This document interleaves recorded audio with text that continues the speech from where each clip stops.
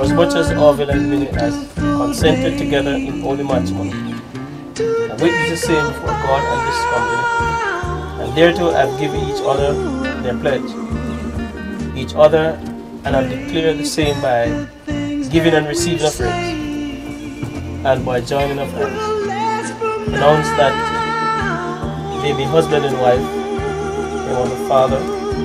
name of the Son, name of the Holy Spirit.